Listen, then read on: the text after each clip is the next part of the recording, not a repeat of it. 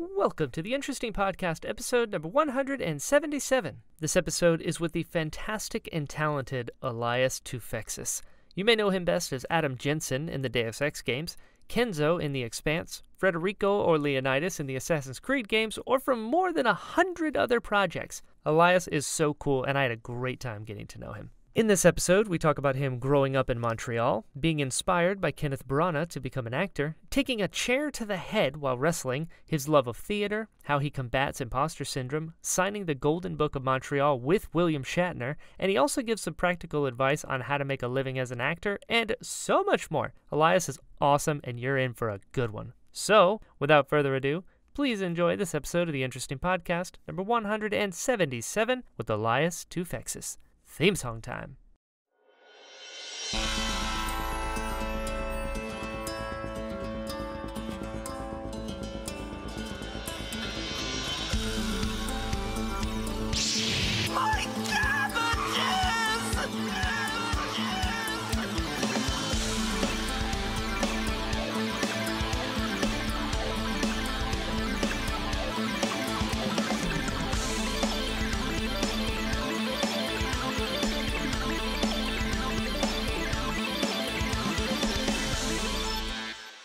In the world are you today? Because you travel a lot. Yeah, but today I'm in I'm home in LA. Back home in LA. Cool, yeah. cool. Well, I mean LA. I don't really live in LA. I live outside of LA, like Sure, ju- sure. like about 40 minutes from the city. Like, gotcha. Whoever nobody goes to the city. Yeah. it's I learned that the first time I went that there's like LA and then there's LA County. And LA County is like 80 subcultures. Yeah, it's really big. So yeah, we live. I live out in Woodland Hills. Nice, Yeah. nice. But I also know you're Canadian. I am. Yeah, I grew up in Montreal. Nice. What is Montreal like? I've not been there. It's uh, in the summer from Uh-huh. let's say May to September. It's the greatest city in North America. Okay. Okay. I It's like it. Every possible food you could possibly want. Every week there's another giant festival. The city's 400 years old, so there's a whole big chunk of the city that is uh, un- unchanged, really, for the most part, architecturally. Sure. Uh, called Old Montreal, beautiful churches and uh, architecture, and the city's amazing, full of culture, very multicultural. There's a Chinatown and a Oh, cool. Jewish district, and it's it's just amazing. Every sort of food, best city in the world. But then it gets cold, and when it gets cold, from sept- mid-September to friggin' March, April, it's it's like almost unbearable at times. It's Oh, so God. cold, but it gets so hot in the summer. So it's re- really it's. Uh, I've experienced both. I've actually been hotter in Montreal than I have been. Well, that's not exactly true. I was going to say that I have been in LA but I live in I live in Woodland Hills, sure. and Woodland Hills gets up to like 120 at times. It's ridiculous. Dear yeah, it's crazy. So that's uh, that's not true anymore. But Montreal can get pretty hot, but it also gets really really cold. Goodness great. What's the coldest you've been? Uh, I don't know what this would be Fahrenheit, but I remember like you can get with the wind chill factor. It was like uh, minus 45 Celsius. Yeah, with the wind chill fact, with the wind chill. I think it only goes down to ever really, you know, minus 25 is like the most it goes Celsius. The funny thing about Fahrenheit and Celsius is Fahrenheit and Celsius start matching up when you get to the minuses. oh God. Like Minus. so funny. Yeah. Minus Elias. That's not Yeah. how it's supposed to be. But I was just in New uh, up in New York shooting a show, and uh, it was like seven degrees, 60. It was freezing, Woo-hoo. just absolutely freezing up there. And I'd forgotten because Ugh. living in LA, all spoiled. Sure. Yeah. Your blood's thinned out a little bit. Yeah. Where are you?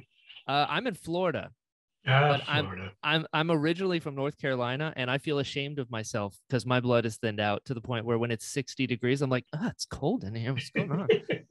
yeah, that's how my son is. My, my Yeah. son is. Well, I've only been in LA like four years, but it's half of his life, right. and so uh, he's now completely like he'll wake up here and it's you know 68 degrees. It's like it's freezing. Yeah. Are you crazy? right. Why do we live here, Dad? You're like, you don't even. I was born in snow. yeah, I was literally born into snow. Yeah. I've seen those videos of how Canadians are born. They just pull you out of the snow. Can you confirm that is real? Uh, it is not real. Oh, uh, we don't Elias. dodge flying hockey pucks. Oh, okay, And, cool, uh, cool. there's uh, half there's it's like fables have some truth in them. Yeah, Jim Carrey has a great bit about that, about how he used to when, when people would ask him if he's Canadian, and they say, "Ah, it must have been cold." Then he just goes with it. He decides to run with it. And he says things like, "My good friend Nantuk and I would burrow a hole in the snow and look out for hockey pucks." Things like that. It's none of that's true. It's just Just a- hockey pucks in the wild. it's just a city. find That's one thing I found being all over North America is that in and of itself, every city is the same. Like you have the the cores of the cities which are, which are different. Like Boston has a feel, and New York, New York is especially has a feel, and LA has a feel. Mhm. But uh, when you get to like the suburbs, every city is exactly the same. I've driven Yeah. across America, back and forth, and uh, they're all the same. Yeah. The, the Targets and the WalMarts and the yeah. same restaurants, all that same stuff. Sure. There's food and there's people. The same thing in Canada, Toronto, Montreal. It's all like that. There you go. There you go.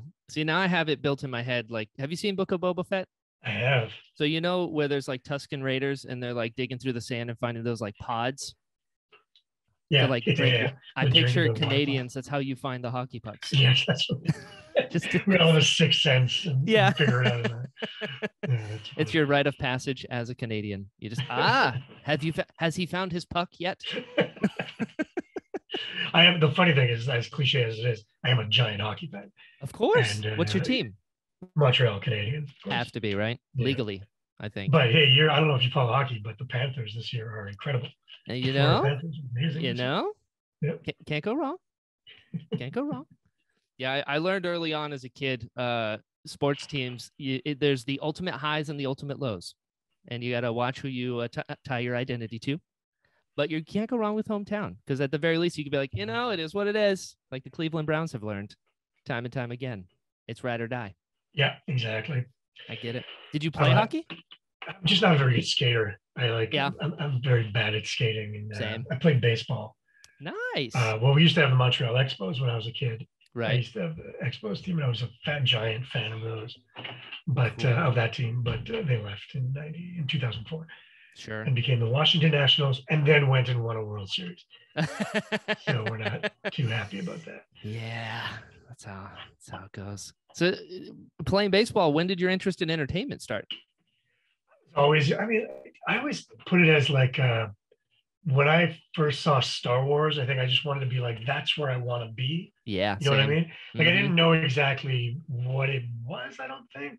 Sure. Or I knew, you know, I think I knew, you know, at six or seven years old, uh, when I first saw it. I think I, I would have seen it. It would have been before VHSs and stuff. So if I when I was six, so it would have been probably went to the theater to see it. Like when they kept re-releasing it, Sure. I wouldn't have been. I mean, I, I, actually don't remember the first time I saw Star Wars.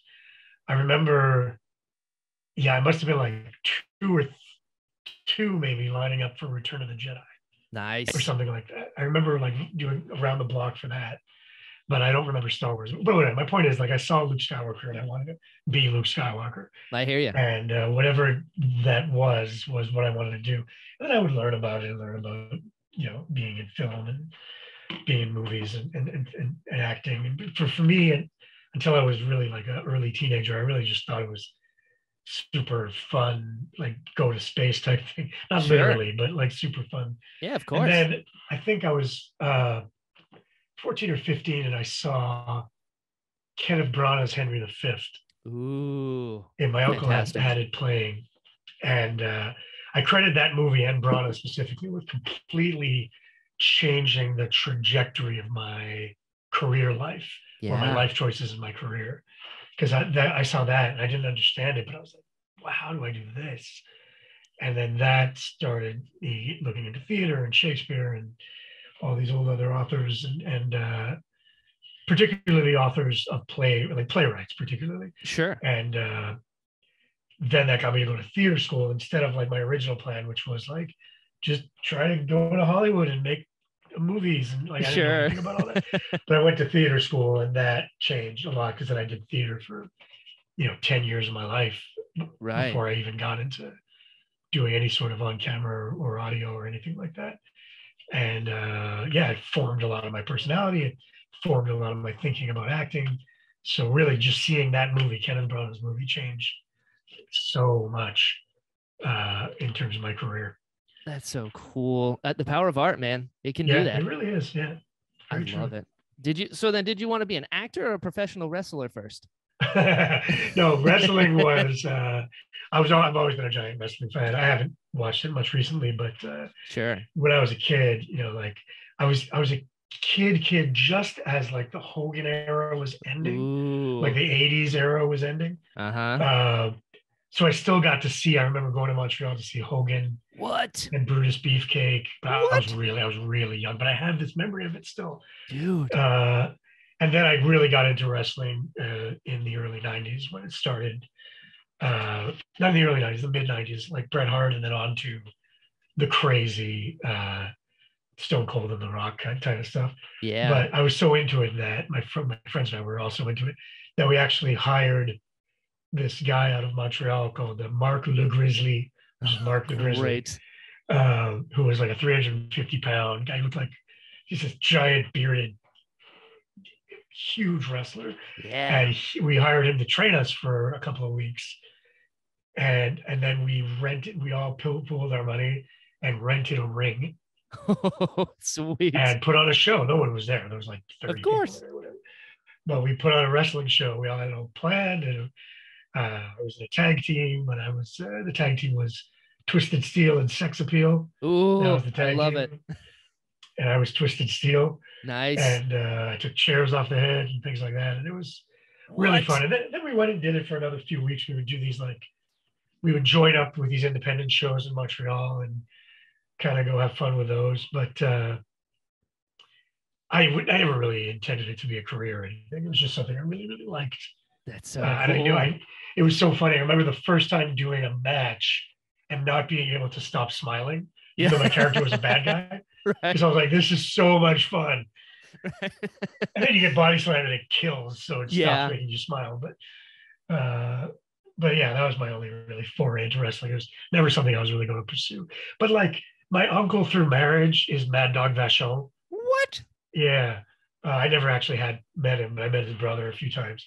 But still, Uh, yeah, so and Montreal has a really big connection to wrestling.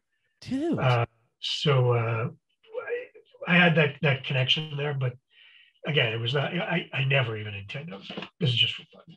I'm not going to. It hurts too much. It yeah. just hurts too much. It's a lot of fun, but man, Oof. like that first day, they're handing out Advils and cold packs Yeah. because they're like, you're going to be in super amounts of pain by the end of the day. oh, like, oh, okay. Well, you said chair to the head. That's uh. Yeah, I took a chair to the head. I actually did a, a Halloween show where they put a pumpkin on my head and hit the pumpkin chair like four times. I I was love like, oh, it. whatever, I can take it. I'll never do that now. It's fine. when It's I was fine. like 17, I'm like, hell yeah, I want to do it. See, I like to believe that there is this alternate reality where Twisted Steel, the smiling heel, exists. You know? Twisted Steel, the smiling heel. You I know. I'm Yeah. here. I'm here for you. We can figure this out. It's so funny because I have so many good ideas. I wish I would meet. I've met a bunch of wrestlers. I never would have the audacity to be like, I got this really good idea. But I've met a bunch of them at Comic Cons and things like that. And I would love to just sit down with one and go, I got this great idea for a bit, for a comp, for like, a, not so much moves, but like the entertainment aspect of it. yeah. I got this great idea for a for a promo here. I got this great idea for a catchphrase. Maybe one day. Yeah. I mean, hey, you never know. Freddie Prinze Jr. is really involved in it, and he used to write for WWE. So Oh, yeah? just saying, it's all theater. Yeah, that's exactly what it is. It's all theater. You know, I get it. I understand. We'll come. We'll we'll make a duo where I'll just be like your gopher, and I'll I'll be the middleman. You're like, go talk to that guy and tell me you have an idea. And I'm like, all right, cool. You know, I'll be your I'll Yeah. be your buffer. Yeah, I. I can't even name. I was gonna say get somebody. I can't even name a wrestler now. Edge, he's still around. Yeah, there you go. Uh, Mick Foley's still alive. He's still alive. They're all still alive. Yeah, But or not actually with wrestling. That's a bold statement. facts. But uh, yeah, Stone Cold and Mick Foley and Shawn Michaels, they're all still alive, and of course The Rock. I love also these connections that my brain is now making because you actually do a really good Stone Cold impression. I've seen it. On that, yeah. That, what was that show? What was that show? Shadow, Shadowhunters. Shadow Hunters. Yeah. Hmm God, that was an experience, man. I the- bet. a buddy of mine was uh the showrunner for that show, Cool. and he I had done uh, alphas with him. Yeah. My first movie ever I did, he cast me in. So we were good friends, and he called me and he goes, "Look, I need somebody to play like the demon version of one of the main characters, and I know you have a movement background and you do a lot of performance capture. It's not that it's makeup, but it's like two hours of makeup. Can't pay you very much. Can you come in and do it?" I'm Oh, like, I feel like "Ah." he's lying. It's not that he was lying; he was just not up on on the facts sure. and it was like I think they probably told him what he told me. And then I got there and it was eight hours of makeup, Ah. standing there with like nothing on but like a G string, getting completely covered, which is embarrassing enough. And you get completely covered in uh sorry, there's my shadow toy. Oh, You get to completely covered in this, latex all over your body. And then it was eight hours to get on and then four hours to get off every Oh. Plus it's like a 16 hour shoot day. And I was getting paid peanuts. oh no, like, that's half the not- day. Yeah, oh my god, I hated, hated every second of that. Uh, but it was fun to. I thought I looked like a bird stone cold. Yeah, you did. Yeah, That's nuts. Eight, eight and four. That's twelve. There's only twenty four of those. Yeah. So I would work. I would work like eighteen hour, twenty hour days. It, thankfully, it was only like four days or something. if I Oh. I was just about but even by the second day, I was like, like I'm gonna. I want to quit. I right. hate everything about this. what have I done?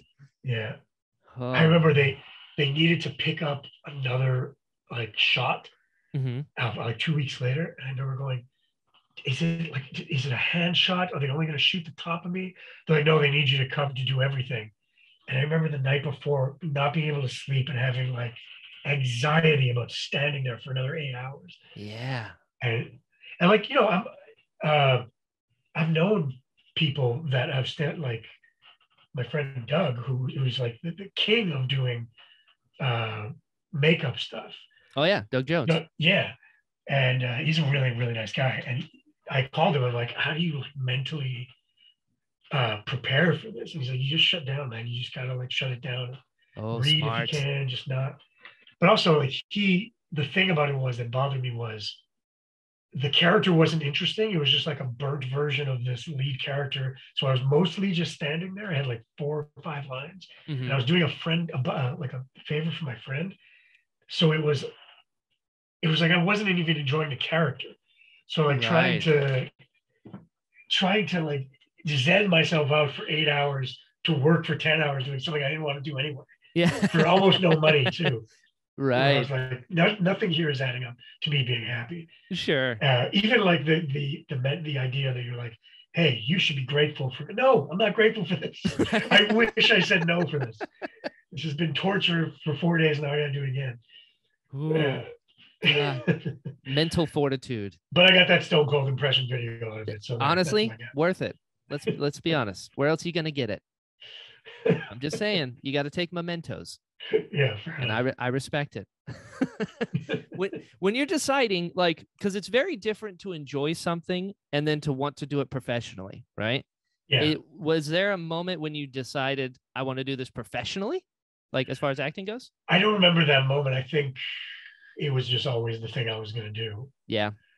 It, Makes actually, it, it's funny. I the other day I posted a picture of a billboard for a Blade Runner. Uh, bla- uh, what's it called? Black Lotus. What's it called? Right. I made it. I don't remember what it's called. Yeah. Uh, yeah, there was a big billboard in New York, in Brooklyn, where I was shooting New Amsterdam, which is the show I was up shooting in, in Brooklyn. right. And and I'm not kidding. It was like six blocks from where I used to live on the floor in Brooklyn, on the floor in a basement in Brooklyn full of cockroaches and rats, Dude. trying to make it as an actor. Yeah. And here I am, like 20 years later, it was about, and and I'm under a billboard of a show I'm in, shooting another show. Uh, and I'm going, and I'm like, I took a picture and I, I put it up on Instagram. I said, this is a crazy coincidence. Like one of those, like, don't give up on your dreams type thing. Yeah. And my friend Carrie, who went to theater school with me, she wrote on it. She wrote on it. Uh, it was no plan B Toufexis. Damn That's what she right. called me. She always just called me like no plan B. Yes. And Which means something different now. it's very true. but I just never, I never had a plan B. It was always, this is what I'm doing. And I, I would not impart that advice like to my kids. Sure. I don't know that I would do that. I would be like, maybe, well, look, let's just find something you're good at. So you at least can back up on this. Right. And, you know, and I never did that. It was always just, this is what I'm doing. yeah. And so whatever it takes, that's what I'm doing. If I have to live in a dump, because that's the only place I can afford, that's what I'm doing. If I have to, and then eventually it just, I mean, it's funny to say it worked out. It still worked out, but with every actor, it could all end in a year. Right. You know, like I have COVID almost did it. Yeah. For real. COVID shut down four jobs that I had. Whew. And if it wasn't for uh, Immortals Phoenix Rising, hmm that game that I did out of uh, out of Montreal, out of Quebec actually, out of Quebec City, Yeah. I was flying up before COVID and doing all this performance capture for that. And then COVID hit and they shut down the performance capture. And I thought, well, I'm losing that job. oh. And then I looked at my bank account and I said, if I don't work for the next, like, let's say this lasts seven months, Right. with the cost of living in Los Angeles, Oh, we're going to be in big trouble, Yeah. like big trouble. So that's always on the back of my mind as an actor. Sure. And the reason I bring up Phoenix Phoenix Rising is because they, I always like giving them their credit. Is they Hell yeah. worked with me to make sure that my home sound booth was pro quality. Oh, that's cool. and they even paid me for the testing sessions. Dude. And Good people. then then they they had me work all summer on Phoenix Rising, and it saved it, literally saved. Like I probably would have moved in with like my mom or something Sure. with, with my two kids and my wife. Like I Yeah. was just running out of money. gotta do what you gotta do. Yeah, and, and and it saved me. And then also because of that, I had the sound booth. So this is a whole other conversation. But because of COVID, right. I had that professional sound booth, and I was able to make a living. Get it. But I it was almost really really bad. But so that's always my point is that's always on my mind is a lot of people are like, yeah, you made it. I'm like, yeah, I do. I make a living as an actor. That's true. Uh, but every it's like any contract work. Right. It's all like- freelance. yeah, I have contract. I have contracts going into August, uh, Right. but then for all intents and purposes, I don't. anymore. right. Uh, September, I'm unemployed. Sure. Uh, hired I and mean, I- fired after every job. Yeah, I mean, I, thank goodness that hasn't happened. Every year has been like better than the last, Right. but Great. for all I know, it's all going to end. Sure. So I always have that in my mind, and I'm always like, man, I'm always going like, you want to go? My wife's like, I want to go on vacation. I'm Like, you really want to spend that like three grand? what happens if sure. you know? And you're always kind of worried about that. And Sure. my wife keeps bugging me about it, but that's the life of any sort of uh, freelance thing, right? It's just Yeah. the way it is. Absolutely. And that's not even talking about the imposter syndrome, I'm sure. Imposter syndrome is a huge thing, man. Every artist, right? It's just how it works, no matter what. It's I'm trying, I'm actively trying to avoid it, like because I know it's happening. So Yep. until you realize what it is, I think you can't really. What's that thing? And you can't attack a problem until you know what the problem is. Yep. And imposter syndrome is every actor has it, I'm sure, but Yep. like it's debilitating to me sometimes. Sure. And so what I, I I've been trying to do at least the last like four or five years. Maybe it's age and more wisdom and, and stuff like that kind of folding into into my character. But it's like a, a perfect example is this New Amsterdam that I went up to do. I did two episodes on that show, Great. and it's a cool show and everything. But what I had to realize for like a guest star actor like me Yeah. is I'm going up there to do a job and to get everything they need on camera and then leave and let them do the rest of the show. Sure. 10 years ago, it was go up, do a great job, make the director love me, make the writer love me, make the casting director love me, make sure everybody loves me because I need to work with them again, Sure. you know, and and make sure all the actors are friends with me and make sure not that I go up there and be rude or or I'm, Right. I'm like ignoring anybody. I go up there, I'm polite, but I'm there to do a job now. Sure. So anything I anything I do now is I go there, I do the job. I'm going to do a good job, so that the actual uh, outcome of all of this is when they watch the show, he did a good job, and he was nice, and he showed up on time, and he knew his lines. And it, Sure. it wasn't hit me coming in there hoping that every take was the one that they really like that's gonna like really get them to like me more. And it, it stopped being that. That's how I fight imposter syndrome. I just I know I'm good at my job and I'm just gonna go and do my job. Hell That's yeah. the only way to fight imposter syndrome. I love that. It's like the because the, the job and the technique and the skills, you're still doing the same thing, but the motivation mentally is different. Yeah, and you wouldn't have gotten the job if you weren't good. I love that. Like even if you weren't are good or right for the role or whatever. Like it, there's there was this scene. Actually, I shouldn't talk about the scene yet, but so I won't get into specifics. I think it airs like next month. So sure, there's won't get into things. There's things that happen. things that happen and happen. But the audition scene I did at home with my wife, which is how I do most of my auditions, and uh, especially now with COVID and stuff. Sure, great ace. Uh, so I did the audition. I did it. I did it like one take, and I just sent it because I just felt it as I as I did it, yeah. And they loved it, and they they booked me based on that audition. And then when I got there, they're like, "Your audition was really good. I, I loved everything you did." And, and then I you have to try to replicate that when you're doing the actual scene, but the situation is so different than me with my wife knocking some lines off sure. that I had to like I think like how am I going to get into that zone again where I'm like just be that just be in the moment of that character and you know what I mean like it's really, Sure. tricky and so I did it and we're on like we do you know many takes for different camera angles and different coverage and things like that and they were all like great great job great job and that that little guy in your in your head goes that was never as good as the audition Right. Never as good. they're Yeah. gonna hate it. They're gonna edit me out of this this episode. sure. And you just have to bury that. You have to bury it because you have to hope that you know, like that that you did what you were hired to do. Uh, Right. And that's yeah, but you're more than voice, that imposter syndrome voice, man. Always there. Is it stressful? Like, because you've, like you said, you're a guest star actor. You've done guest stars on like some of the craziest shows. Like, is it stressful? Because like you're kind of going into somebody else's house, especially established things like Smallville or Supernatural and stuff like that. Yeah, is it- it's it's not so much stress. It's stressful at the beginning. But Yeah. again, like I said, like 10 years ago when I was doing it, it was I was really just there to impress everybody. So I wasn't really thinking about Right. I probably was maybe like thinking about the character and stuff, but it was more like I want to show everybody how great I am and I can we can all work together again. Right. Uh and, and now it's become more about just the, the work, just going in and making sure I do a good job. Right. Uh, right. So it's less stressful now. Um, and also I think because in recent years I've been I've been direct, I've been voice directing a lot. Yeah. So I've been on this other side of it where I work with actors from the other side. Sure. And also, um, again, I can't get into specifics about this, but Totally. I've I sold an animated series that me and a couple other guys. wrote. Congrats. Thanks. So we've been working on that, and so now on this production side, casting actors, uh, finding people to do the music and all that kind of thing, and you start realizing that you're just trying to plug in parts.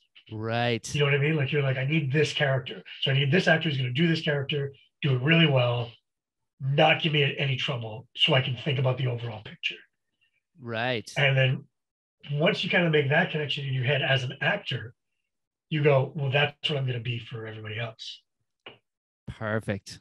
So I now, when I go to a show, I go where I have to go. I show up on time. I have my lines done. I listen to direction. I do what I'm supposed to do. When I wrap, I go home. I, I like there's a cast party that I'm invited to, whatever, I'll go. But Mhm. for the most part, it's like I wrap, I go home, I come back to work the next day, lines memorized, polite. Every, everybody likes, and we all get along. That's all that matters to me. Because Sure. the people who are making the show have so much more to think about than whether this guest star actor is going to come in and feel, Right. sure. you know, like they don't care. They want you to do a good job. They hired you to do a, to do the job that, that you did in the audition, essentially. Gotcha. Or occasionally, like especially now, I'll get in video games, especially I'll get just straight offers to do for to do stuff.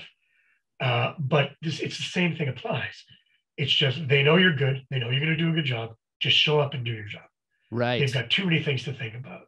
You're there to be of service. Yeah, that's really what you are as an actor. You're there to be of service. Do a good job. Be on. Be uh, uh, honest about the character and and your work, and that's it. And, and I'll ask questions, of course, if I feel like I need answers for a character, Sure. but I don't overdo it. Uh, especially in voiceover. In voiceover, man, sometimes they just need you to say, like, "Get down." Right. That's it, and they don't need you to go. Well, why is this guy? Right. What's what my is- motivation? What grew, what did he grow up with Yeah. to have to say "get down" like this? Like, "Oh God, please just say "get down." What's his relationship with his father like? Yeah, like you start realizing that when you're on the other side of it, where they're like, "Just please, just say get down, please." Right. We need to get down.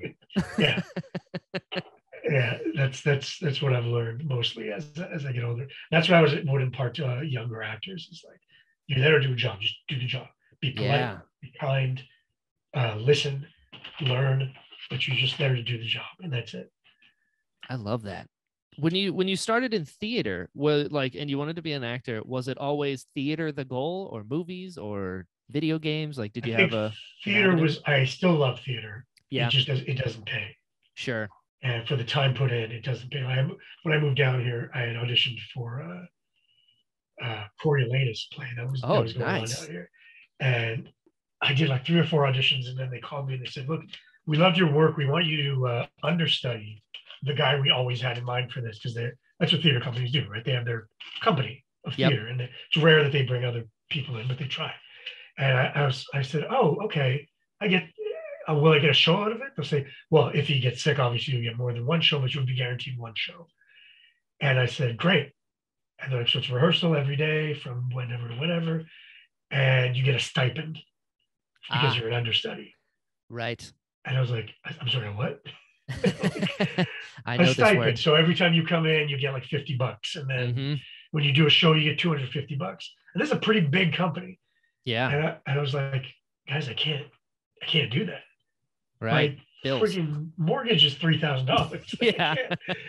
like there's no way I'm gonna be able to make a living. I have a family, Sure. and uh, and also it, it it anchors you to the town. So I couldn't go to New York or Atlanta or wherever to do a show. Oh, right. You can't leave, and Yeah. and so I was like, I, I just can't, I can't do it. And I wish I could have done it because I miss theater a lot Right.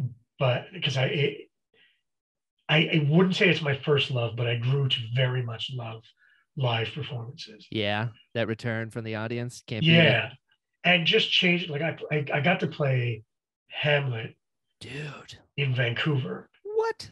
Yeah, it was it was great. But I the, the interesting thing was we had two months of rehearsal and three weeks of the show, Oh. and I only started getting what I thought was the right place, getting to what I thought was the right place in like the second to last show. Of course. Of course. And I was like, I wish I had three more weeks of this. yeah. So that's what's great about theater, especially when something as complicated and complex as Hamlet.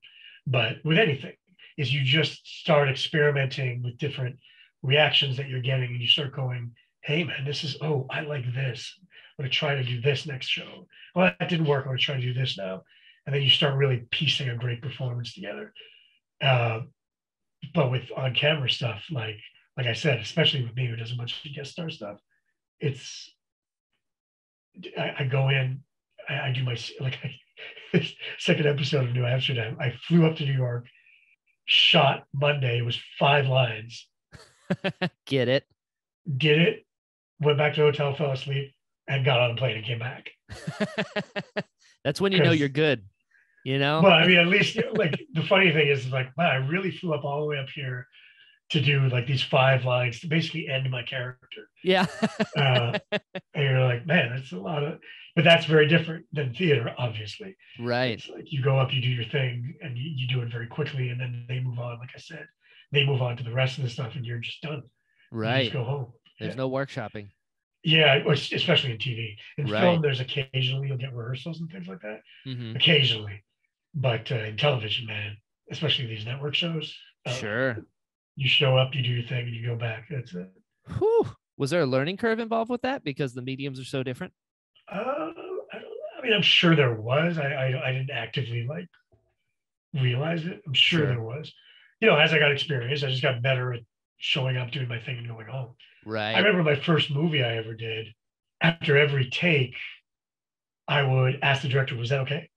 Was that okay? Was that good? Anything?" you need?" And then, like by the third week or second week, he's like, "If I don't say anything to you, it was good." we like had that. the exact same situation. First movie, good, bad, less, more, good. Yeah. Yeah, Yeah. Moving on is good. yeah, exactly. That's exactly what it is. So moving on means we got it. That's Yeah. it. Don't worry about it. Okay. It's all Yeah. right. So in that case, yes, there was a learning curve, but it was like just an experience. Right. Just, just an experience. Yeah. That's good. And how long had you been acting on stage before you made the jump onto screen? let's see, I did theater school and then I moved, I did, we did like two years of plays. Then I moved to New York where I lived on that floor in Brooklyn. Mm-hmm. And I did uh, about a year and a half of plays there. Then I so like four years, four or five years. Get it. And then I did that movie. And then once I did that movie, the funny thing is now I think about it, I did that movie and it paid me like like fifteen thousand dollars or something. Ooh, at Which the time. At the time was like the most amount of money I'd ever seen. Yeah. and now it's like, oh, that's like two months of living in LA. Right. Yeah. Uh, but uh, at the time, it was the most amount of money I'd ever seen, and I took that and moved out to Vancouver. Nice. I shot that in Ottawa, and I moved out to Vancouver with that money, and uh, it also didn't last very long. But uh, but from then on, I just did on camera stuff, and then Nice. eventually voiceover stuff. But uh, it was from then on, I not. Well, I did do Hamlet in Vancouver, but that was the only. I did Hamlet and this play called Boys Life or something like that. Not Boys Life. I don't remember. But this other play, there's like an independent theater company that hired me to do it Sure. and uh, and then I did a play that the guy who actually wrote the animated series with me, he wrote that play. Oh, we cool. did that. We did that play in Vancouver too, but that was only like a weekend. So Sure. uh, and we rehearsed at night and stuff like that. So mostly my income was from on camera stuff, Cool. and it was tough because you don't make a lot in Canada for on camera stuff. Sure. Uh, and uh, there was a lot of, of days where I'm like, oh man, I'm running out of money. I'm running out of Right. that kind of stuff. Um, but yeah, then I never looked back. I kind of just did TV and, vo- and VO since then, and that's been like uh, shit, almost 50 years now. Hell yeah. Yeah. Coming from on camera as well. How did you you did three episodes of Smallville, different characters, Yeah, and you see your face. How did you not get because it was a different time, man. It was a Okay, different time. Okay. Okay. Like a now, second. they would never do that right? because it's all kind of linear. Yes. But in the Smallville, like th- th- those days of Smallville, like 10 or 15 or 12 years ago, at least at this point, uh, they were just one offs. Okay. Like every okay. episode was like a villain of the week. Right. And so I would just always always play these villains. Right. And they knew, like I said, they knew I was a good actor. They knew I'd show up on time. They knew I'd do a good job. So they would, I don't even remember if I auditioned for the last one or if they just like called me to had me to do it. I think I, I might have, I might have auditioned. I don't really remember. But they would just be like, oh yeah, Elias could do it. So let's just have him come in. And uh, yeah, that's what I would do with with Smallville. They would bring me in on Smallville to coach actors that they Oh, would hire because they knew I was good, and they're like, "He's good. Let's, have let's have him come do that." Look at you. uh, but it was a different time. They would never do that right. on like Green Arrow or whatever, or, uh, on Arrow right. or, or the the new Superman thing. Because once you're on, it's like that's your character. Right. Right. Uh, Memories are a little longer for some reason. yeah, I think because of because of streaming and because of uh, binging. Yeah. So like if you binge Smallville, you see me on three times Right. over ten years. Right. completely different characters each time, but Yep. you know, or the same thing with Law and Order. If you binge like Law and Order, you'll see the guy who was the criminal uh, two seasons ago is the lawyer this season. Right. Know, they just that's just the way they did it. You think I forgot? But Mm-mm. that's that's changed now too. That's all changed now too. Even even on Law and Order, the character that showed up 10, five years ago is now that same character uh, that shows up in the new show. right. It's a different world now. Makes sense. When did you first jump into voiceover then?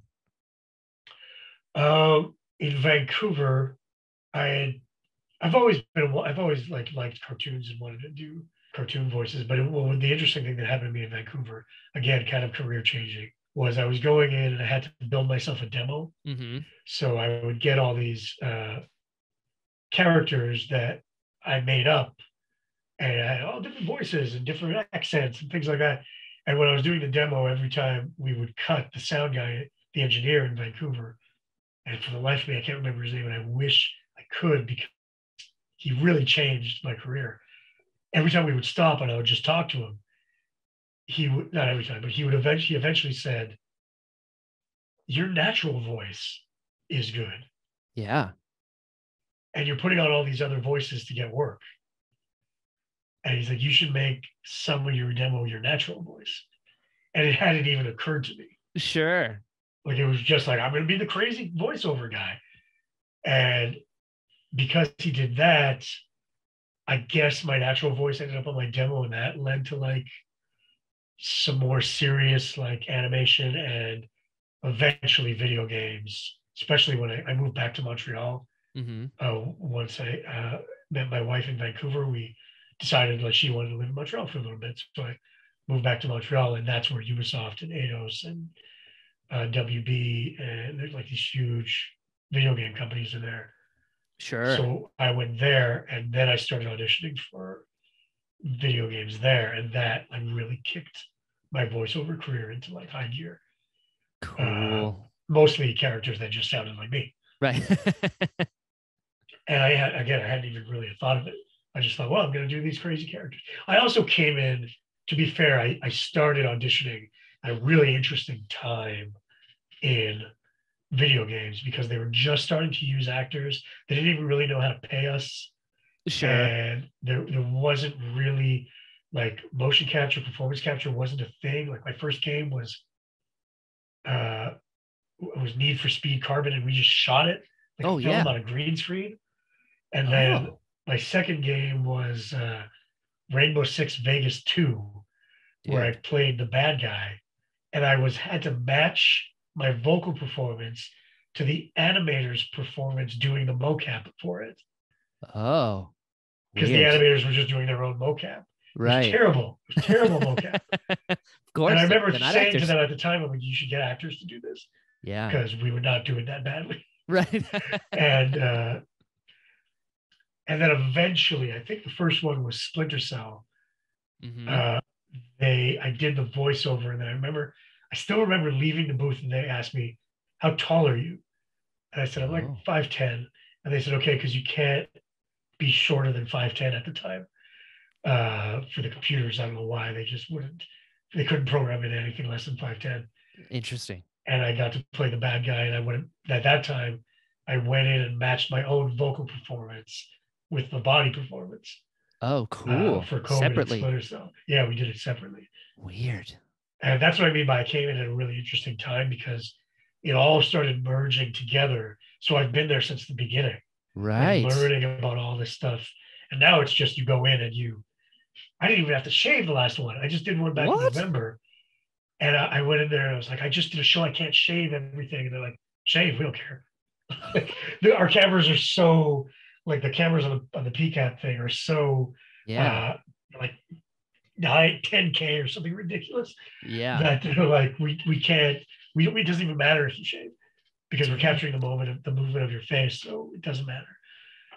What? Uh, I, I think, I guess if you had like a Gandalf beard, they'd be like, can you tone that down? right. Yeah. but with my facial hair, they're like, before I had to shave everything. I had to completely, like completely clean shaven. And now they're like, no, no, it's fine. It's fine. Like, wow. oh, it's great. So every every performance capture job is something completely new that, that I'm learning. Uh, but like I said, I've been there from when it was animators doing it. Uh, so it's been a really interesting journey. I, I don't know where it's going to go from here. I think eventually it's going to go to where there's no there's no cameras on stage anymore. Uh-huh. Like because right now you go on a mocap stage, there's like 70 cameras Right. surrounding your body, surrounding you in the stage that are all capturing the markers on your suit. Right. I think the markers are all just going to program uh, uh, transmit directly to a computer soon. Ooh, that'd be cool. Like they're going to have a markerless, or not even the marker. It's just your the suit itself is going to be a markerless, cameraless suit. Right. just gonna, that's what's coming, I think. How Uh, cool is have that? worry about the cameras. But I'm not much of a tech guy, so I don't I don't really know exactly Sure. going. But uh, Magic. That's what's happening. yeah, it's it's all it pretty much is magic. These guys are crazy. That's so wild. How cool it must be to watch it, like the technology just advance right in front of you. Yeah, I've really seen it advance from from its infancy onto onto where it is now. And, you know, I don't intend to retire anytime soon, so you can imagine what it's going to be like in ten or fifteen years. Yeah, that's nuts. And play because you played like the same role in multiple games, like with Federico in Assassin's Creed, and even as Andriy in Splinter Cell, multiple games. It, the technology, I imagine, taking leaps just in between the same characters. And oh yeah, but like I said, so like uh, like with with Splinter Cell, I'll tell you two stories. Like with Splinter Cell, like I said, that first one, I was ca- I was listening to my voice and Mhm. doing the body movements and trying to capture it. Then when we did the sequel, it was full performance capture. I never even saw a microphone. Wow. It was all just on stage, like performance capture the whole character. They even Sure. kind of put my face. They tried to they took, put my younger face on older Kobin, Oh, so he kind of looks like me get it. uh, where they didn't do that in the other, in the other game. Then the uh, with Deus Ex, the first game, uh, they wanted somebody who is Adam Jensen's actual size, which is 6'2", Mhm. to do the motion capture, not performance capture, just the motion capture. And I'm 5'10", Right. uh, and I'm like, I they didn't even consider me. So they had somebody else do the motion capture for Adam Jensen. But Oh, at that point, they didn't, they didn't have any facial capture. It was just the body. right. They just did the body. And that kind of pissed me off. And then when the new game, when they called me for the new game, I said, I'll do it, but I have to do the full performance capture for it. Oh, smart And- man. And they said yes. And they brought me to Montreal and they had, they at that time, even, and that was like, what, 2014? It's just not that long ago. Well, I guess 10 years ago. No, not even. So 2014, and they were still like messing with stretching me to 6'2. They're like, I don't know if we can add, we'll try. We have to do tests. And I'm glad they did because to me, if if you play Mankind Divided versus Human Revolution, I think Human Revolution is a better game. But Mankind mm-hmm. Divided, the cutscenes are way better. And I agree with that. like the performances are better and my performance is better and it's all because we did it all performance capture and it was all just Gotcha. me doing it rather than two actors trying to get the body in the uh, Right. Trying to meet in the middle as opposed Exactly. to it all coming from the one place. that's why performance capture is better and uh, that's why i like mankind divided my performance in mankind divided better than in human revolution Yeah, that makes sense. Yeah. How have you kept yourself like cuz on camera it's so much of it is trying to put you in a box, right? yeah How how have you kept from not being pigeonholed? Cuz you played good Oh. guys, bad guys all over the place. I have been pigeonholed, but it's it's I, I'll play. I played some good guys and things like that, but for the most part on TV in particular, Mhm. I found my wheelhouse. This is one thing that if any younger actors are listening and they want to know what how to make, make a living at this, Mhm. I, I'm talking like workaday actors. Right. Like uh, what you have to do, is you have to find your wheelhouse and make your agent submit you for those roles Mm, like my agent submits me for almost everything, right? Right. But I'll actually turn down auditions if I look at it and go, I'm not going to get cast as this, sure. like because I know what I get cast as. Gotcha. You know So for- yourself. Yeah, and I know what I'm good. Like I can play pretty much anything, right. but I know what I'm really good at, and what I'm good at is bad guys, mm-hmm. jerks, Yeah. and complex characters you don't trust. right. that's those are the three things I'm good at. And when I get a breakdown like the uh like uh the episode of FBI that I did, I did an episode of FBI a few months ago. Mhm. And uh I remember getting the sides, the breakdown for it, and going, I'm either gonna book this or I'm gonna be in the top three. And I and there are hundreds of actors auditioning. Right. And why am I so confident? Because it was exactly what I do. Right. like exactly what it is that I bring to the table as an actor. And and I knew it. I knew I would be either close or I would I would get it, and I got it. And, and what what it's just experience. So I like I'm pigeonholed, but it's almost as out of my own design Right. Okay. because I know what because I, need to pay bills. Right. Like I I didn't turn I didn't turn down oh another bad guy. I'm not going to do this. right. You know, I looked at it and go, okay, this is how I make my living. So yeah, I'll do another bad guy. Sure. and it's a breeze now. Like I could go Right. in. Like they didn't even give me a friggin' piece of direction on FBI.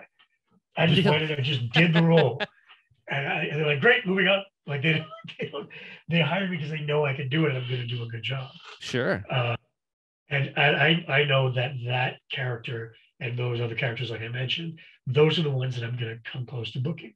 Like, I wonder if I could say this. I was trying to think. Yeah, I can, I can say it. I can say it. I had an audition for I don't know which Star Wars show it was, but it was one of those Star Wars shows, right? Get it. And it was an Imperial officer, Cool. and it may have already come out, so Right. I, am probably not going to get in trouble saying it. Sure. But I looked at it. I'm like, I'm not going to book this. I'm not Right. an Imperial officer right. unless this Imperial officer is a street guy. right. You sound like you've worked for a living. Yeah, I'm not going to book this guy. Right. Yeah, that's a good example. Good. Yeah. I'm not going to book. Like there was a show Suits that shot up in uh, Toronto when I lived there. hmm And I'm like, I'm never gonna get on the show. I'm never unless the character is a guy from the streets Right. or like they're not gonna give me a role on this. I could do it. If they gave me a role, I could do it. But I know what booking a role takes. Right. So it's a big it's a difference. There is a difference. sure. And I would get these roles of like these uh like I don't know like these uh, guys in suits, these rich businessmen type, young Mhm. businessmen type in suits. And I'm like, unless this guy's like newly rich and doesn't know how to wear a suit, Yeah. I'm not booking. I'm not booking this. Unless I'm selling these suit guys something that might be less than legal. Yeah, like Yeah. I'm not gonna book the the rich white guy type. Right. So I'm not gonna do it. Sure. I I could do it, but they're never gonna give me this role. Right. So you start learning about that. So this is a long-winded way to answer your pigeonhole question, but Yeah. I I kind of did it on purpose because I Sure. gotta go. Like I'm not gonna, I'm not gonna get this. This is what I get. So when I came down here and I got an agent, I said, "This is what I book. Don't send me for this stuff. You can if you want, and I'll do it if I have time to put myself on tape. But don't get, don't be surprised if I don't book this. This stuff, this is what I'll get." Sure. And that's what I learned. And if you go through my resume, like I was watching my demo reel a few months ago, they're like, oh, it's bad guy, bad guy, bad guy, Yeah. like jerk, I may have seen them all. untrustworthy guy. Like, yeah, it's just, but but you know, this is where my best work is because this is what I do. And I also, if I'm honest, orchestrate my my demo that way. Yeah. I make it like, well, these are the what I'm strong at. Makes And- sense. And so if you want your bad guy, you hire him. Gotcha. and you start you start putting yourself in that. Do I, do I hope that somebody comes to me with a complex like character that is not just the bad guy? Always, always Right. be looking for that kind of stuff. But I'm I'm a working man, and I just Sure. gotta work. So you end up just kind of pigeonholing yourself. If you know Sure. I mean? That makes total sense. Well, I mean, Yeah. they say, you know, it's show business, business being the bigger word. And like uh-huh. you've figured that out, like the math of it all. Like this is a tool that I'm really good with. What jobs can I do with this tool? Yeah, because at first you're throwing that, that expression, like throwing everything into a wall and, and hoping and seeing what sticks. Right. And if I look back at my career, I'm like, well, that sticks, that sticks, that sticks. So I Right. keep throwing the sticky things. that makes you what I sense. mean? Yeah. Yeah. Did you come to those conclusions yourself or did somebody like help you along and be like, this it's is just- what you're good at? It's just experience, man. It's Yeah. just experience. It's it's experience and deduction. You just start going, well, if I keep booking this and I keep coming close to this, obviously this is what I'm good at. Right. I've made money doing this. Let's do this again. Yeah. and I don't it's not to say I don't enjoy it or anything. It's just totally. like absolutely. when I went up to did when I did that FBI episode, I even New Amsterdam to a degree. It's a little less of a bad guy, but uh, he does some bad things in the show. Sure. uh, it's still like fun to go up Yeah. and go to set and do. It's a great way to make a living. Of course. Way But worse ways just, to. Yeah, it's just I know I know what I'm doing now, and it's. Uh, you know, of course, I hope there's a complex character in my future that I can have fun with, but uh, I try to make every character complex. I can see it. I can see it. How did the partner come to be? Oh man, did you actually watch it? Of course I did. Elias, my you're, you, you came on my show. All right. the partner was just fun. That me and my my buddy Pete and, and again and the guy who's in it Yeah. uh, who uh, plays my brother. if I Yep. remember correctly. That's uh, Andreas. He wrote. He's writing the show with me. The Yeah, animated series. fantastic. We just did that on a lark. That's we so just had cool. fun with that. It cost like five hundred bucks. Get we borrowed it? the we borrowed the camera. We uh it didn't really it didn't all work. It was just an experiment to see I if we liked do it. something for fun. Yeah, I liked it. It was it was it was enjoyable. I know we shot it in two nights over at my- that's my friend Pete's house. Really, And uh yeah, we just did everything fun. Uh dude? I like I like watching it. I, I wish we could if we were to ever to do it again, we never will, but if we ever do it again, I'd make a lot of changes with it. But it was just Sure. this experiment. That's why I never really promote it that much because there's more like I'm surprised you see it. You saw it. Oh, dude, it was I saw more a just lot of like a, a, a lark that we just tried to do. That actually really- is, to kid you not, that's actually what led to the invite. That's why I wanted to hang out with you. Yeah, because like uh, with like Yuri Lowenthal and Tara Platt as well. Yeah. It's when you have artists who do it for a living, but also you can tell really just love the art. And like with the partner, when I found out that like you guys made that on your own just because, I'm like, okay, this there's something here that uh, Elias is my kind of people. And then I saw you Right, open a box yeah. with a hatchet, and I was like, yeah, yeah, that send him, send him away. yeah, that's right. Yeah, I love that. And we put Star Trek on. We can never publish it, right? Because we have like the Right. music is original, but we have like Star Trek on in the background Yeah. things like. So I'm not paying for the rights, so it's just for fun. of course. Uh, speaking of that, because I know you're a big Star Trek fan, how have you, have you been able to come down from signing the Golden Book with William Shatner? Uh, you know what's really funny? This sound is I'm playing with the pen they gave me. Uh, oh, The pen from Montreal. It says Ville de Montréal on it. what? Uh, yeah, they gave me a pen and a plaque when I signed that thing. Uh, Dude, that was a big imposter syndrome thing. I like have to be. That was like, because it was it was me and Shatner and Michael Ironside and Brent Spiner and and uh, who else was there? Elias the only ones that I was like, yeah, see, see what I mean by the. Don't worry, I got you. You're not getting away from this. Uh, um, there was somebody else there. He was in a bunch of Doctor Who episodes. He's really he's way more popular than me. I'm forgetting his name though. I didn't I didn't know him specifically. Mhm. but he's really popular. But there were all these guys, and we're, we're signing this book, and the mayor's there, and, and uh, we're giving speeches and stuff like that. Uh, that was that was weird, Yeah. but, but really, really, the mayor just happened to be a, a big fan of my work. cool. Like he just had followed. My, if it wasn't like if he wasn't the elected mayor, I would never have been given this like honor. But he was a big fan of my work, and he's like, I'm honoring you know, Shatner's going to be there. Ironside's going to be. We were all there for the Comic Con, yeah. Montreal Comic Con, and we're we're getting everybody to sign that. Can you do you want to come in and sign? And uh, I was like, yeah. Dude. So that was that was pretty surreal. I've met the Shat Man a few times. Yeah. Uh, he's always been very nice to me. Good. Yeah, That People have stories about him, but I'm always I found him to be a, a gentleman, attentive. Uh, the first time I met him, we talked about Montreal because he grew up there too. Oh, cool. Yeah, we grew up in literally the same neighborhood. Dude. Yeah, and so I would talk about the neighborhood, and he was very attentive and nice and cool. And yeah, that was the only time I had ever been starstruck in my life I because I'm bet. such a big Star Trek fan. Yeah. How could you not? Yeah, and I and, and just like Shatner in particular, like I just grew up on Yeah. the old show and the movie Star Trek Two. Like I know every like every sound and frame of that film I know by heart, and uh, I, I adore it. And so meeting Shatner was like, oh my god! And and I don't That's get cool. starstruck. I've worked with a whole bunch of actors, Yeah. and I, it's just work. But Sure. Shatner, he's like on another level for me. So I was Right. really. I He's was from like, space. I get it. but I was really at the in the moment where it was just a conversation. Sure. But when I when I remember leaving and texting Andrew, actually Andreas, and texting him and going, "Oh my god, I'm shaking! like I'm like shaking, and my I didn't realize that that was happening to me because I was so excited to meet him. Yeah. Uh, then the, like subsequent times that all went away. And it just became like, oh hey, Bill, like sure. that kind of thing. Not that cool, not cool. that he recognized me every time. He's Right. like, oh yeah, yeah, yeah, yeah. yeah. You gotta meet a thousand people a day. I get it. exactly. When you're doing uh like Assassin's Creed, right?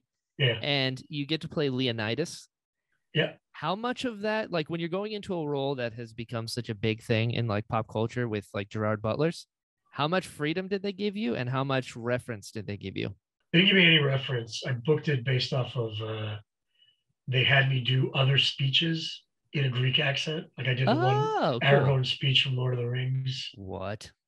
Yeah, that was like that's what they would do for for the audition. Cool. And then when they gave it to me, I knew the writer Daniel. Like he and I knew each other from Montreal, hmm and I was just like, let's just not do anything that would harken back to to the 300 movie. Sure. Let's just try not to do that. Right. There's some things you can't avoid. You're fighting for Sparta, so you got to do that. Sure. But I think the speech that he wrote was really good, Agreed. and and uh, it was a lot of fun to do it. It's funny because you see it, it looks like there's 300 soldiers. There's like six stuntmen yeah. actually on the day, but they were all really cool. Yeah, uh, yeah, that was that was a lot of fun. And again, I know Ubisoft's getting a lot of shit these days, but man, they, artistically, they're the best. Like yeah. They were really good with me with Phoenix and with Assassin's Creed. I um, they they had me come in and they had me play Leonidas, and then they had me do a, but they didn't tell me, or they mistaken, or I misunderstood, but they had me play Nikolaos Oh, and uh, the father of the of the main character. right. And what I didn't know at the time was I thought they gave me both characters, but they actually were just using me as a performance capture placeholder for Nikolaos, and they were going to Oh. replace my voice. Oh, But then they loved what I was doing with Nikolaos, so they said we're going to replace your Leonidas voice. oh, And I was like, oh, don't. Like I gave so much to that Leonidas. Like it was, we did Leonidas first, and right. then we did like Nikolaos. And I was like, don't, don't. I gave so much to Leonidas. Don't. Like, Yeah. and then Nikolaos, like I love him too. He's great. Don't replace his voice either. Right. And, but they were like, no, no, no, we got to replace one. And then I wrote the game director an email. and I was like, look, man, I'll come in and I'll re-record some stuff for no cost if you let me play both. And oh, To their credit, they didn't even have me come in. They just let me play both. They were just like, screw it. If his voice sounds similar, his voice sounds really similar. Wow. Uh, and they let me play both. And again, like Ubisoft's always been the best to me, man. Like, How cool is I can't that? never complain about Ubisoft. They're just always been cool with me. Man, you can't get burned in games. Yeah. As proven. That is wild. How many times have you died On TV. on TV, games? You've died in every media. well, I think. games like you could kill Adam Jensen a hundred times. Right. Uh, a lot. A Yeah. lot. I don't know. how many. I did put together. I lost it recently, but I did put together like a death reel of my Oh, TV deaths. sweet. and it, it was still like two minutes long. so it was just like death after death after death for two minutes. Whew. Do Uh, you have a favorite?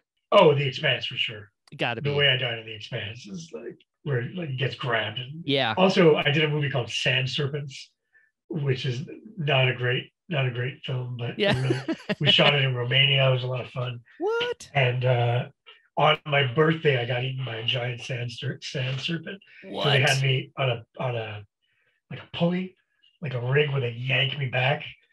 Uh, so that was fun. That was a fun death. Uh, but yeah, I think the expanse. I love Yeah. the expanse all all the way through. I loved working on it. I loved everybody there. Everybody was cool. I still talk to them. cool. You got Uh, robot eyes. I mean, I got robot eyes, and then I Killing it. did the uh, in the second and third season. I played. I did performance capture for the proto molecule creature. And yeah, So I got to do two more seasons of that show, even after my character died, dude, which is just really, killing it. which was really fun. I mean, we did those seasons in like four days, but Sure. but because it was all in one stage. But I still got to go see everybody and act the scenes out with them. And it was really, yeah, it was a lot of fun. How cool is that? Is there something that you haven't been able to do yet that's still on like your acting bucket list? I mean, everybody wants to do. There's just tons, man. Yeah, I'm, I'm like, of course, I'm really it. happy with my career and all this kind of stuff. but, sure. You know, you you, you want to like. You know, I can't watch Book of Boba Fett and not go. I could play that guy. Right? Why did I play that guy? yeah. uh, like there's a perfect example in Book of Boba Fett, the Timothy Olyphant uh, Yep. deputy sheriff. Uh He's only in that one episode, Yep. but I remember looking at that guy and going, "Why did I even audition for that? I should have Right. auditioned for that character. I would be so good at that. I would have killed that. He was fine. He was great, but I would have been like great at that guy. Right? Uh, I've died so many times. yeah, kind of that.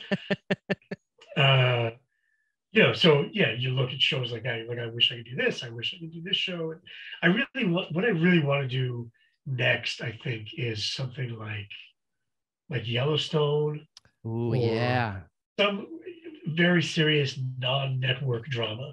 Hell yeah. Because I've been doing so many network shows that I kind of Right. want to move over to like, give me some some show that's a season long of a character growth, like The Expanse was. Right. You know, like something like that. I want to do again. That'd be cool. Uh, I haven't done that in a while because COVID shut a lot of stuff down. Right. So I, have been going to like guest star to guest star to guest star. Sure. So I definitely would love to do something like a long character arc again on a on a cool show like Yellowstone or or 1883, which is Yellowstone anyway. Yeah. Somewhere you can just Uh, sit and like actually watch an arc kind of thing. Yeah, I, I, I haven't done an arc on show in a while because because of COVID. Sure. Sure. You know, I get to do arcs in like Blood of Zeus and uh, Yeah, you do. things like that. So that show's nuts. yeah, I love that show. We're, I don't I don't know when we're recording, but soon, very soon. Yeah. My stuff for season two. Yeah, How's directing been? it's been fun, man. It's a lot of fun. It's uh, it's interesting because I'll go from directing like inexperienced actors on a game like out of China. Uh huh. Uh, not the actors are all in America, but the game is like out of China. They're casting the English voices. Right. So it's like a bunch of inexperienced actors. And then the next be working with like uh Dave Fennoy or Maurice LaMarche or like Right. these actors who are legends in the business who I look up to. Yeah. I'm gonna direct you, dude. I'm not really gonna direct you. I'm just Right. gonna tell you what the that the game or the show is about, and you do your thing. Right. The only honest to God, like I had uh, Neil Kaplan, who's a legend in, in Yeah. voiceover.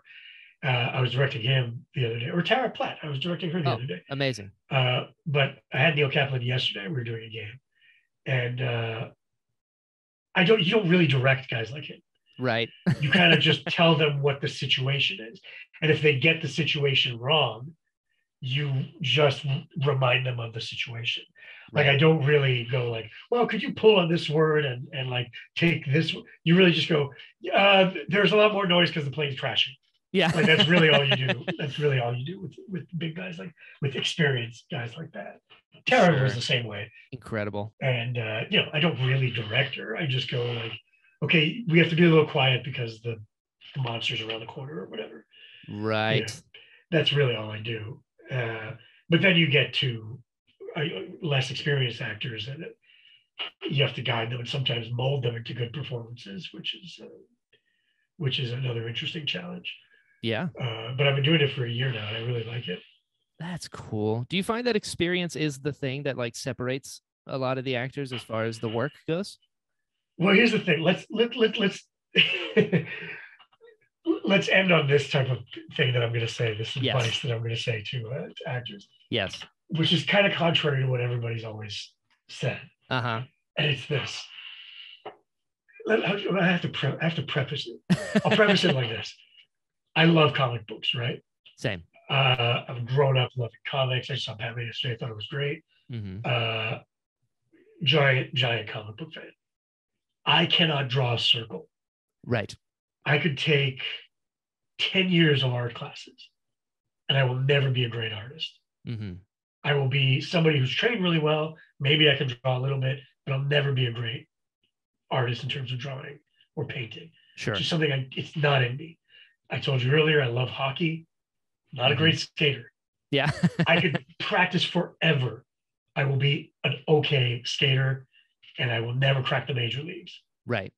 Only in acting do people go, if you believe in yourself, you can make it, As if it isn't a skill. as, as if it isn't a skill. Yep. And I'll give them that. I'll acquiesce this, this 10% of that, which is if you're really pretty or really Yep. handsome, you could eke out a living or make a good living as an actor because it is a visual medium. Right. right? But if you inherently aren't a good actor, you will not make a living at this, Sure. no matter how much you believe in your dreams. Yeah. And I always hated when people said that. I always hated when people were like, if you believe in yourself, you could be a giant star. Oh, You know, like oh. even Schwar- even Schwarzenegger was like, I'm going to be the biggest actor in the world, and he's not a great actor, but he turned. He did what he did was he said, I'm going to find out what I'm good at, and I'm going to do that. right. So he said, I'm good at this. People hire me for this. I'm going to do this, and then he tries other performances and things like that because he's a giant star now Right. but he made it based on a, based off of this is what I'm good at. I know I'm good at this. He's not going to go try to get a drama. Right. There, nobody's going to cast it. In his early career, I mean, sure. like, nobody was going to be like, let's cast Arnold Schwarzenegger in a Shakespeare play. Right. Like they're just not going to do it because he doesn't have it. He can't do that. Right. I can't do what he does. Right. You know what I mean? So for me, it's like just know if you're good, know what it is you're good at. Yeah. and do that. I, I got a friend who loves movies, loves acting, loves everything exactly the same amount that I do. He's not a good actor. Right. He just inherently is not a very good actor. Sure. He went to theater school with me. He has the exact same amount of training I do, just inherently not very good. He never works. And he just stopped. He realizes like I'm not gonna I'm not gonna book this. I'm not gonna book any work. It's just not gonna happen.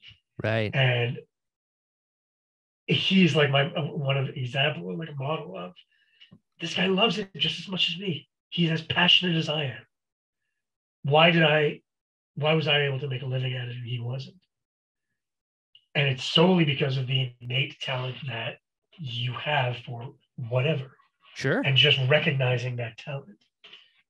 Uh, that's what you have to be able to do. And, and so, anytime a young actor comes up to me and asks me, like, "What would you? What do you want to do? How do you, how do, how do I do what you do? Or how do I how do I get? Is it just experience? Is it is it uh, drive? Is it ambition? Yes, that's all in there. Of course, you need drive and you need ambition, all that kind of stuff. But if you know Glengarry Glen Ross, do you know that Uh-huh. play Uh huh. or the movie? Yep. there's a, a scene in the play or the movie where one of the one of the salesmen, I, I don't know, I think he says, "I can't do it if I don't have the goddamn leads. Yeah. Like, if I don't have the leads, I can't sell." And that's al- always something I think of is like, you don't have the talent for it, sure. you're not going to be able to do it in anything Right. not just acting, in anything.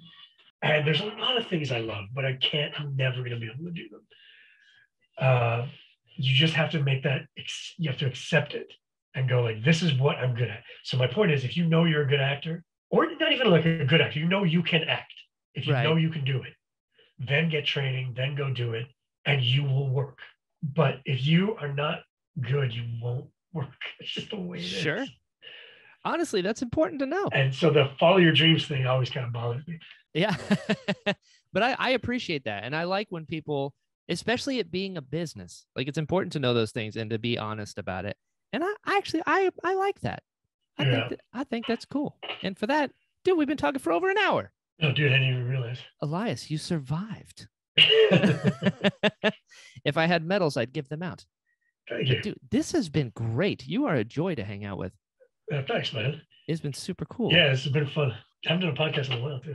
Before I release you into the wild, I got to ask where can people find your stuff? Where can they find you online? Oh, this is another thing I hate about being an actor. Promotion. Just say the Um, internet. The, the internet. No, I, I mean, I'm on Twitter and Instagram. Like, I don't do Instagram that much.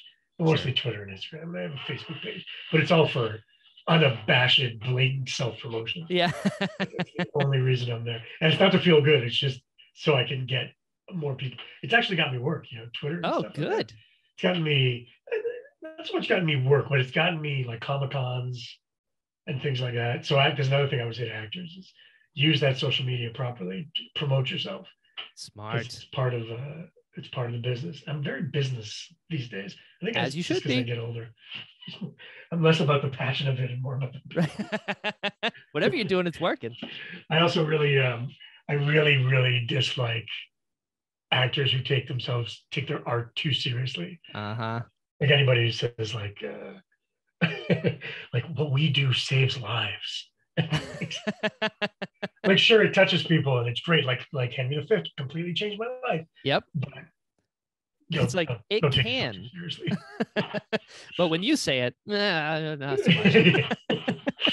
yeah, Twitter, Instagram, you're Elias Toufexis on both. yeah, yeah, yeah, yes, Smart man. yes. See, I'll, I'll help you out. We got this. And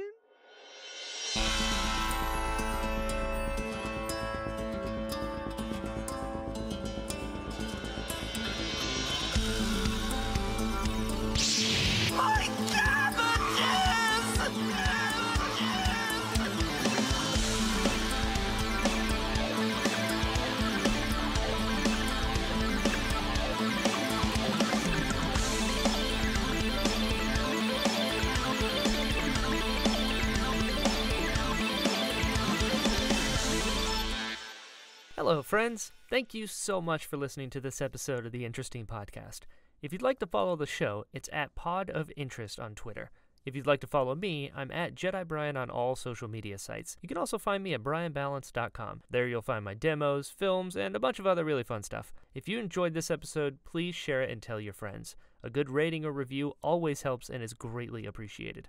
Let the people know we've got some cool stuff going on over here. Speaking of cool stuff, we now have merch. Just search the interesting podcast on teepublic.com to pick you up some sweet gear. Also, I've made a Patreon, so if you'd like to support the show more directly and get early releases of the shows, you now have that option over at patreon.com slash jedibrian. On that note, special thanks to Daryl, Daz, Ben, Victor, and Chris. Your support means so, so much to me, and I can't tell you how much I appreciate it. So until next time, be well.